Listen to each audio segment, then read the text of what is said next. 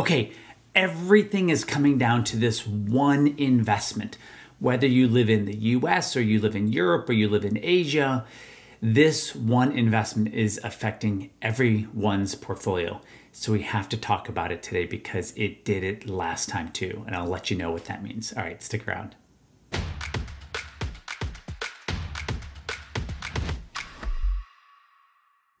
Hey everyone, this is my weekly video where I talk about what I think is most important with the markets. Now, here's the thing. That's just this week, right? So I look at what's going on this week, but then you have to kind of zoom out and look at what's going on for the whole year, half decade, decade, because you don't want to be making life adjustments to your retirement portfolio based on just what happened today or this week. And if you are, we believe that's a problem. So let's jump into what I want to talk about. I have four, I had to look at how many charts I have. I have four charts that I want to show you.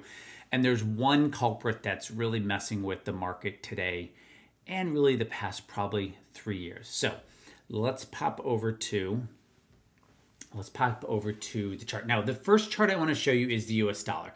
And this is the investment that is messing with everything else it hasn't always been this way, right? It the US dollar really didn't mess with the dot com crash. The dollar fell, the yen fell when the when stocks around the world fell in 2000. So this is not an always and there's rare always or nevers in the investment world and anywhere in life. But what's happening today? So what's happening today is the whole investment world is looking at the dollar. Now there's a couple points uh, I just want to show you on here. Let me find my cursor here.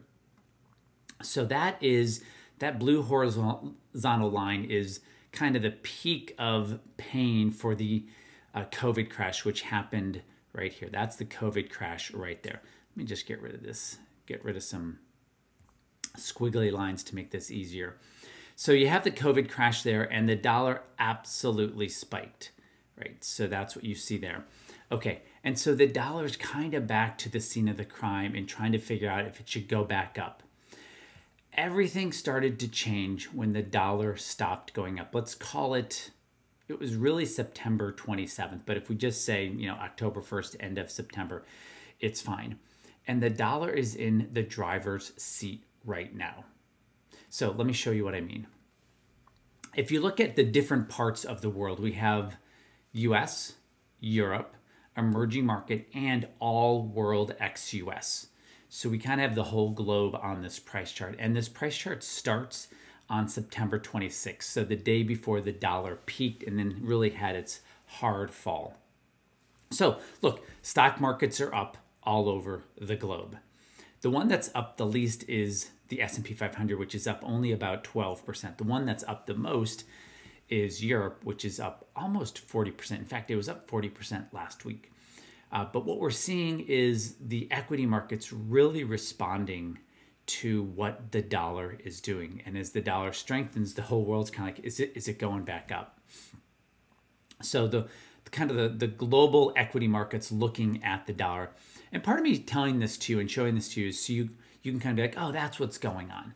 Right? It doesn't mean you change your portfolio approach, right? So when someone wants to retire strong, looking at a daily price chart or thinking about what's going on, or if they're burdened with what's going on on a daily basis, we think that's a big problem because that means they don't actually have a portfolio that has them to retire strong.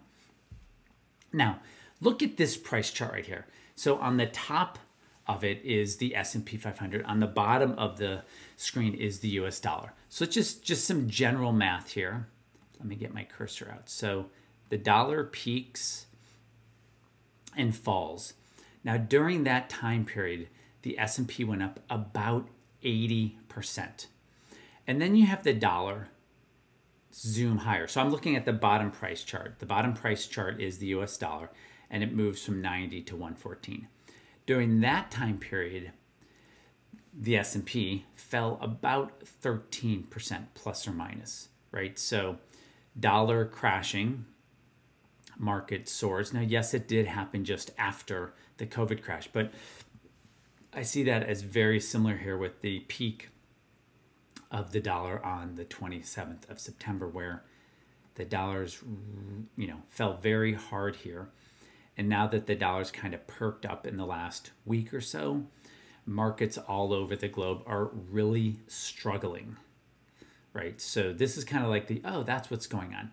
The other thing I talked about last week, I said most of the world is just in a sideways channel of messiness. And I believe that's going to create as much pain as possibly, uh, maybe in many ways, as much pain as the global financial crisis of 08 or the dot com of 2000, because a sideways market is very dangerous. But the dollar is really in control right now. And it just appears that all markets are just absolutely focused on the US dollar. Here's the global financial crisis, which the stock market peaked in October of 07. And if you're looking at this and not just listening to it, you almost would think the two charts are just, it's the same chart, but with a mirror. The bottom price chart is the US dollar, and the US dollar started cranking higher. It really started moving higher from, call it May of 08, and it peaked at the beginning of March in the following year. And it absolutely cranked higher. During the same time period, the stock market fell. And stock market fell during that same time period 50%. And then the dollar absolutely fell from that early of March of 09 and you know moved down and during that same time period the stock market moved up about 65%. It doesn't always have to work this way, right? But what I'm what I want to point out to you is probably three things. The dollar is in control right now. And what the dollar and what that really means like let's step back and look at what that really means. It means people when they're worried right now they're going and they're panicking into the dollar. They're no longer panicking into the yen. They're no longer necessarily panicking into the US bond market or the Japanese bond market but it's kind of the last safe asset standing right now is what people think as an asset uh, is the US dollar, and that's in control. So that's the answering of kind of what's going on, what's kind of driving the mood right now. And then the overarching, this is point number two, the overarching is the market's really, really trying to figure out what to do with interest rates going to five, sorry, the federal funds rate going to five, maybe five and a quarter.